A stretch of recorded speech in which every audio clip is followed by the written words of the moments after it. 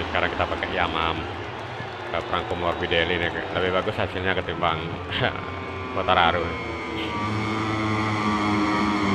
ya walaupun tidak juara tapi posisi kedua yang kejar Deko Bagniaya nih. Susah sekali. Udah sampai uh, kota ganti TCS siap trek lurus kita pakai satu belum juga bisa ngejar